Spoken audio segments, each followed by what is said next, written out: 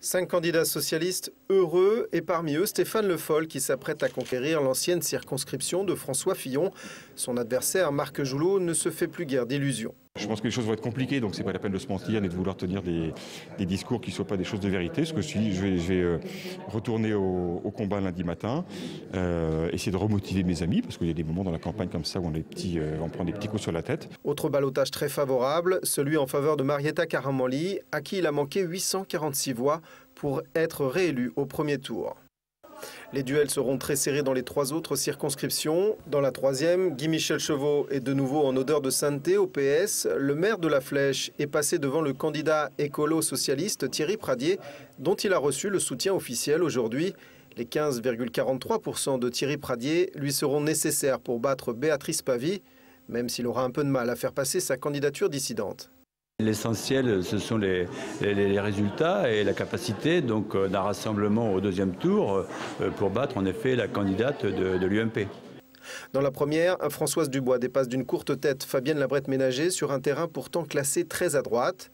Enfin, dans la cinquième, moins de 500 voix séparent les deux candidats. Dans ces trois dernières circonscriptions, le candidat de l'UMP ne passera qu'avec un bon report des voix du Front National. Or, rien n'est moins sûr car c'est l'autre enseignement du scrutin. Après le PS et l'UMP qui représentent chacun un tiers de l'électorat, le Front National devient la troisième force politique du département avec une moyenne de 12,11% des suffrages. Pas question cependant pour le secrétaire départemental du FN d'appeler à voter pour l'UMP. Il faudrait qu'il y ait vraiment de très bonnes ententes, pour de très bons accords pour que j'appelle à voter, ben, particulièrement sur la première circonscription.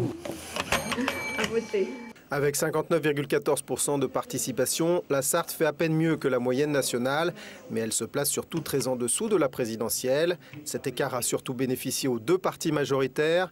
L'électorat de Marine Le Pen a perdu plus de la moitié de ses voix. Ceux du Front de gauche et du centre se sont effondrés. En revanche, les candidats écologistes ont doublé le score d'Eva Joly, probablement grâce au bon résultat de Thierry Pradier dans la troisième. Pour dimanche prochain, il ne faut pas compter sur un sursaut de l'électorat. Aux législatives de 2007, la participation avait fléchi de plus de 3% entre les deux